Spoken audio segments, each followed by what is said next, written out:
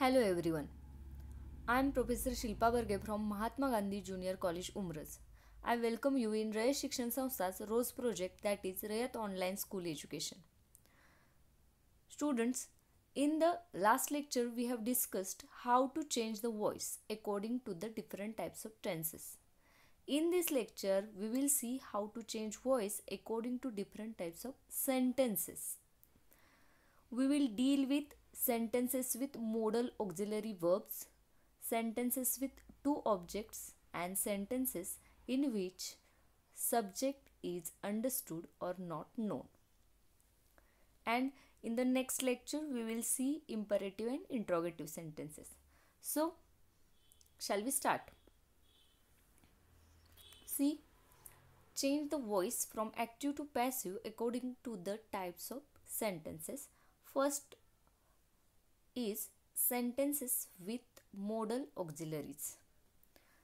See students, you know there are different modal auxiliary verbs. Can, could, may, might, must, need, this kind of.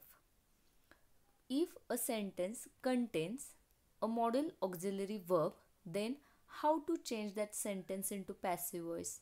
We will learn it. See, we will see it through an example. We can solve this sum. This is the example. In this sentence, we, we is the doer of action that is subject. Can is auxiliary verb, modal auxiliary verb. Solve is main verb and this sum is object. Then what we have to do? See, uh, in the previous lecture, we have seen how to change voice according to different types of tenses. Eight type of tenses we have seen. So the same changes we have to do here also. But specific changes, what we have to do, we will see. See, we have to take object in the beginning then we have to use same auxiliary verb which is used in that sentence we have to use it again and we have to add be be is most important then remaining changes are same. V3 plus by plus s. See how is the answer then? This sum object can same we have used here. Then we have to add be this sum can be v3 solved by we become us. Change in case. This sum can be solved by us. We will see the next example. I must value his gift. This in this sentence must is the modal auxiliary verb. Then how to change it? See I is doer of the action that is subject value main verb his gift is object. His gift in the beginning of the passive sentence see his gift same must we will use his gift must we have to add be his gift must be valued by me very easy steps are there.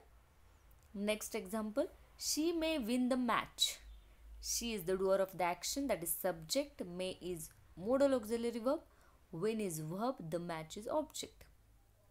The match may be won by her. Very easy steps. The match may be won by her. Next example, he shall do it. In this sentence, he is doer of action that is subject, shall, modal auxiliary verb, do, main verb and it is object. So, we will make the changes. It shall be done by him. Next example we will see. We ought to respect our teachers. We ought to respect our teachers. We is subject, ought to is modal auxiliary verb, respect is main verb, our teachers are object. We will take object in the beginning. Our teachers, same auxiliary verb, modal auxiliary verb we will use here. Ought to. Then we have to add be. V3 of respect is respected by us. Very minor changes we have to do and we get the passive voice of the sentence. Our teachers ought to be respected by us. See, we have seen sentences with modal auxiliary verbs. You would have understood. Now, we will move forward. See the next type. If in a sentence, transitive verb has two objects. If in a sentence, transitive verb has two objects, either the direct or the indirect object may become the subject of the sentence in the passive voice. See, some transitive verbs have verb has two objects. Then what we have to do? First of all, you should know uh, types of objects. There are two types of object, direct object and indirect object. How to recognize them? See, when we uh, we have a sentence. Then in that sentence if there are two objects then how to recognize which one is direct object and which one is indirect object? See direct object answer the question what? How to recognize direct object? Direct object answers the question what? If we will ask question to the sentence what then the answer we get is direct object See this sentence the king gave the commander a reward. If we will ask this question what or of what we have to use. We will ask this sentence question what. The king gave the commander a reward. What did the king give the commander? What? What the king what did the king give? A reward. What give? A reward. So a reward is direct object. When we ask question what, the answer, the answer we get is direct object. Now indirect object. An indirect object answer the question to whom or for whom or for what. Generally to whom. See, we will ask the same sentence, this uh, question to whom the king gave the commander a reward. To whom did the king give a reward? To whom? To the commander. That's why the commander is indirect object. This is the small trick how to understand or how to recognize direct and indirect object. You have to remember this that direct object answer the question what and an indirect object answer the question to whom, for whom or for what. See, we will um, see now how to change the voice. The king gave the commander a reward. The king is subject, doer of the action, gave is verb, the commander is indirect object and a reward is direct object. In passive voice, we have to do the same changes. The commander, first of all, see, there are two objects then two answers will be there where uh, either indirect object is the uh, subject of the passive voice or the direct object is the subject of the passive voice. Two answer and in both cases answers are correct. See first of all we will see we will take the commander means indirect object as the uh, subject of the passive voice. The commander was given a reward by the king. Was is taken as it is the past tense, a reward by the king. And in another, when direct ob object is subject of the passive voice, a reward was given to commander. To whom? We ask question to whom? To keep the um, sentence meaningful, we have to add to. A reward was given to commander by the king very easy it is also. Another example see ram lent me 10 rupees. What did ram lend me? 10 rupees. What we ask what that's why 10 rupees is the direct object. And uh, to whom did ram lend 10 rupees? To me. That's why indirect object is me. So we will take first indirect object I. Me becomes I. I was lent 10 rupees by Ram. And in another, when we are taking direct object as the subject of passive voice, 10 rupees were lent to me by Ram. it is a passive voice 10 rupees were lent to me by ram next example they told me the truth what did they tell? The truth. That's why the truth is direct object. So and me. To whom? To me. That's why it is indirect object. Indirect object is taken first. I was told the truth.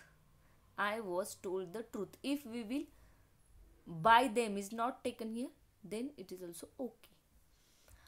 Next uh, when we are taking direct object as a subject of passive see the truth the truth was told to me by them. If we will take it then also it is okay or not then also it is okay. We will see the next example. She offered the prince a bag of seed. What did she offer? A bag of seed. That's why it is direct object. A bag of seed was offered to the prince by her. Offered to the prince by her. This is the answer. And uh, to whom she offered to whom did she offer the bag of seed?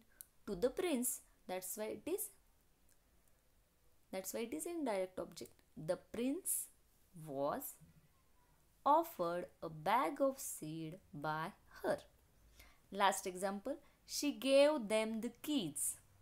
What did she give? The keys. That's why the, the keys are direct object. The keys were given to them by her.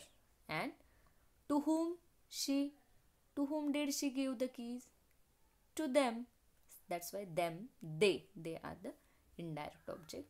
Passive they were given the keys they were given the keys by her so this was the type where there are two objects now we will move forward the third type is if the subject is understood or not known. It is not stated as an object in passive voice and hence by is also omitted. See students, in some sentences subject or the speaker in the sentence is not particular person where common statements are said. In this kind of sentences we understand the subject or in some cases subject is not known. Then it is not stated as an object in passive voice and so by is also omitted. We will understand it through an example. See, one must do one's duty.